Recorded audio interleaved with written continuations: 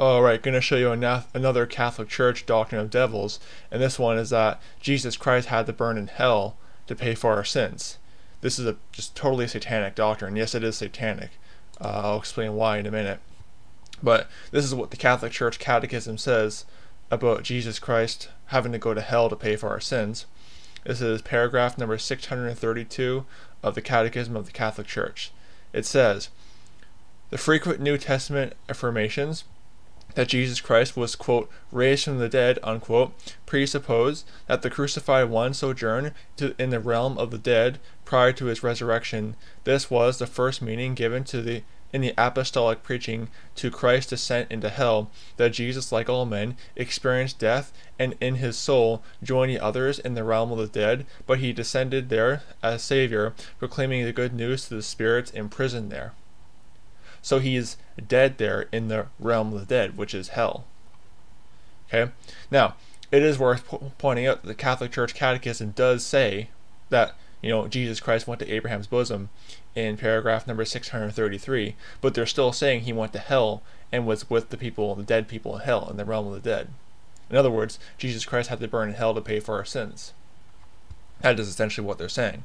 Now, the Bible does teach that Jesus Christ went to this chamber under the earth. However, he went to Abraham's bosom. He didn't go to hell and burn there for a while. He didn't go to hell and was there for three days and three nights. No, he went to the realm of the dead, the realm of the dead basically, and he went to Abraham's bosom. He didn't go to the burning side of hell. It's that simple. Ephesians chapter 4 verses 8 to 10. Wherefore he saith, When he ascended up on high, he led captivity captive, and gave gifts unto men. Now he now that he, now that he ascended, uh, what is it? But that he also descended first into the lower parts of the earth. He that descended is the same that also ascended up far above all heavens, that he might fulfill he might fill all things. So he did go down into the lower parts of the earth to this chamber under the earth in the underworld.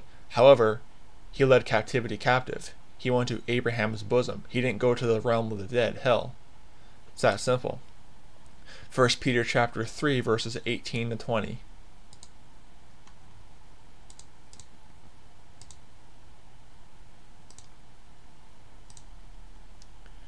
For Christ hath also hath once suffered for sins, the just for the unjust, that he might bring us unto might bring us to God, being put to death in the flesh, but quickened by the Spirit by which also he went and preached unto the spirits in prison, which were sometime disobedient, which sometime were disobedient, uh, when once the long suffering of God waited in the days of Noah, while the ark was preparing, wherein a few, that is, eight souls, were saved by water.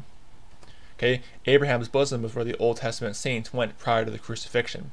1 Kings chapter 11 verse 43 and many many other scriptures in the book of Kings and the book of Chronicles, the two books of Kings, two books of Chronicles, talk about uh, Old Testament king dying and sleeping with his fathers because he's down in Abraham's bosom sleeping.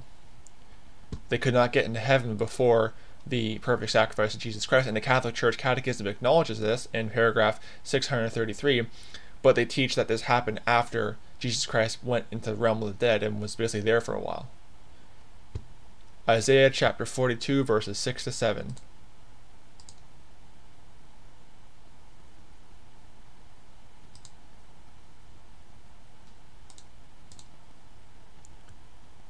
I, the Lord, have called thee in righteousness, and will hold thine hand, and will keep thee, and will give thee for a covenant of the people, for a light of the Gentiles, to open the blind eyes, to bring out the prisoners from the prison, and them that sit in darkness out of the prison house.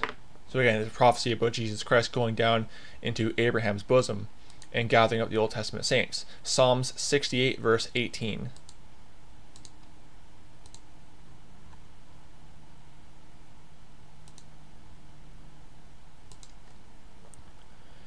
Thou hast ascended on high, thou hast led captivity captive, thou hast received gifts for men, yea, for the rebellious also, that the Lord God might dwell among them. Okay, another prophecy about Jesus going down into Abraham's bosom and leading captivity captive. He didn't go to the realm of the dead, hell, and burn there to pay for sins. Now, the strongest proof that Jesus Christ didn't burn in hell is the fact that the fruits, the first fruits, can't be burned. Leviticus chapter 2, verses 12 to 14.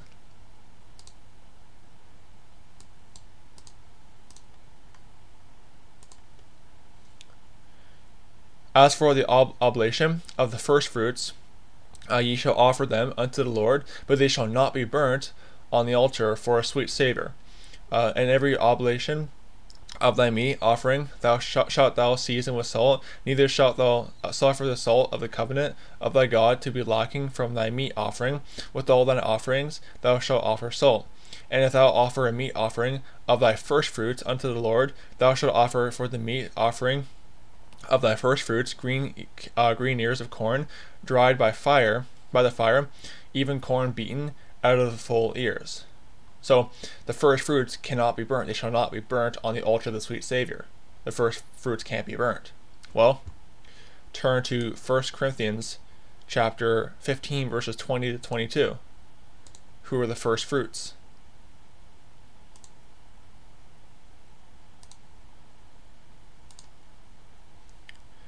But now is Christ risen from the dead and become the firstfruits of them that slept. For since by man came death, and by man by man came also the resurrection of the dead. For as in Adam shall all die, uh, even so in Christ shall all be made alive. Christ is the first fruits, and Leviticus 2 verse 12 to 14 says the first fruits can't be burned. It's that simple. Jesus Christ did not burn in hell to pay for sins. He is the first fruits and they can't be burned. He went down into the chain this this underworld, this chamber, and he went to Abraham's bosom and led captivity captive. He gathered up the Old Testament saints. He didn't go to hell and burn. When it says that, you know, in Psalm 16:10, "Thou wilt not leave my soul in hell, neither suffer thine holy one to see corruption," paraphrasing, of course, uh, it's referring to the, Abraham's bosom. He didn't. He is not in hell burning. That, that's not taught anywhere in Scripture. That's a pagan uh, it's, a, very pagan doctrine because Roman Catholicism is just pagan. And Jesus Christ in John 19:30 said, "It is finished. It was done on the cross." It's that simple. It's not this continual he had to burn in hell. And and then even still, the Catholic Church teaches that the, the Christians, you know, Christians, Catholics obviously, who don't uh, basically live this this holy life, will have to go to purgatory and burn there for a while too. So basically, Jesus Christ didn't even even going to hell did not cleanse you of all sins because you still have to go to purgatory. It's ridiculous. Roman Catholicism is a satanic cult. It is not Bible believing Christianity. Roman Catholicism is uh, Greco Roman uh, Hellenistic heathenism repackaged. That's all it is. It's just Christianized Greek Roman paganism. So don't be deceived by Roman Catholicism. This idea that Jesus Christ went to the realm of the dead, hell, and burned there to pay for sins, and even still, you still have to go to purgatory to burn off the rest of your sins. It's a wicked, satanic, false doctrine. And there's no nice way to put it. It's satanic. So do, and don't be deceived by Roman Catholicism. May the grace of our Lord Jesus Christ be with all the brethren. Goodbye.